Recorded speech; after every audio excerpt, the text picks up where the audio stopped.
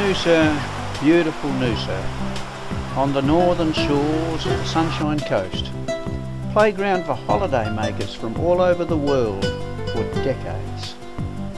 A place where people come to visit, where people come to live because it's so beautiful and so natural. With just a short walk from downtown Hastings Street, you can find yourself in the tranquility of the Noosa National Park and experience the wonder of nature at its very best.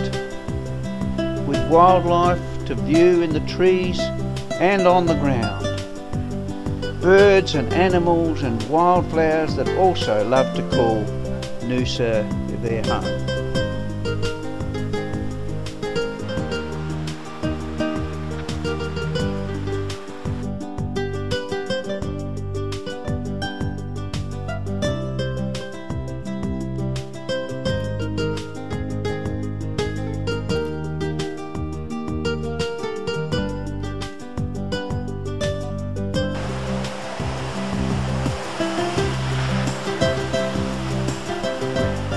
But it might not have been this way if the modern march of civilization and migration had had its own way.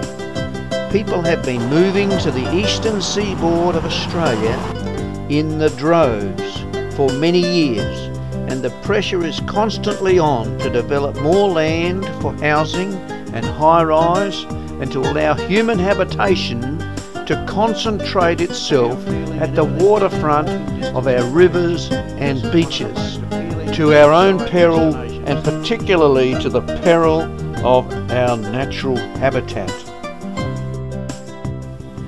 The northern reaches and beaches of the Sunshine Coast in Queensland have been spared the normal spread of concrete and asphalt for modern man by a determined band of eco-workers diligently and persistently speaking out and standing up for the rights of the natural bush and all its powerless creatures. This little movie is dedicated to one of those eco warriors who was born for such a time as this.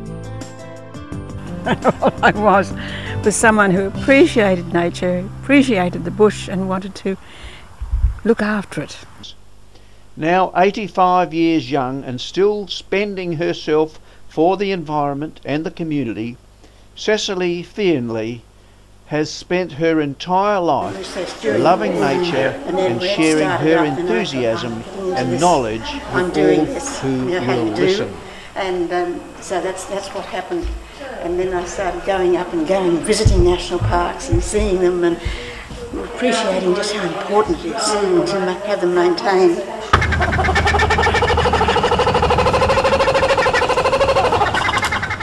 Oh, I started the Bird Observer group. That was the first one. And then there was the botanical one. Well, I joined that, but I didn't have the time to really concentrate on too much. So, and uh, Arthur Harold started that group. That was fine. Then I started the walks with one of the other members, and the two of us would take turns in leading the walks round about. This was the original entrance to National Park, myself, way back, and this was back in 1949 when I was there camping, and that, that is now the entrance, and it's completely different at the moment.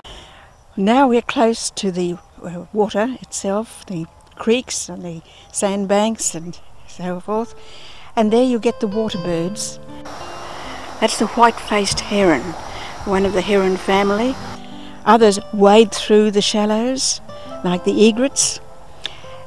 There are so many different water birds associated with both mangroves and river flats, right through. Oh my, oh my. Oh, this, this is really, this is what I love.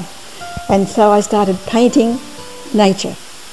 That was my art training and my love of nature and my thirst, it was just, well, I couldn't, couldn't get as much information as I wanted to, ever. And when you know about it, you appreciate it, then you want to keep it and not destroy it. This is one of the things that I did. This was one to illustrate what I'd be talking about when I wrote my article for the Noosa News. It commenced when we first came up to Noosa. It was back in 1972 and continued every week for 30 years. That first uh, suggestion that there be a road right around the headland was so bad that fortunately, and with the Noosa Parks Association, we managed to stop it. Well, we had to do something to prevent development ruining the beauty of natural area. My name's Ian Seels. I'm currently the president for the Noosa Parks Association. Cecily really though was the was the driver and the founder of all the recreational and concept and, and educational activities that um, the Parks Association is now so famous for. Um, Cecily is still active in the organisation today and you know to be a significant figure in this organisation in itself says something. This is an organisation that, that really has been chiefly responsible for the shaping of this part of the world. One of the things that uh, I really appreciated right from the very beginning was nature, particularly in that Lamington area. And then when I married Jim and we were out at Upper Brookfield, of course I got into the church and where the children came, the Sunday school. So I was a Sunday school teacher.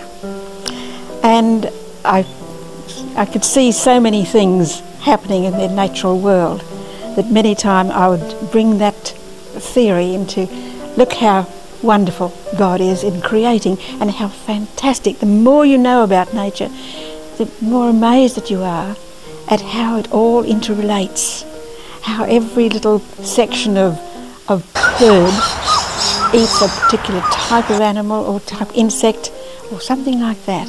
It really is fantastic. And I've continued with that interest right through my life.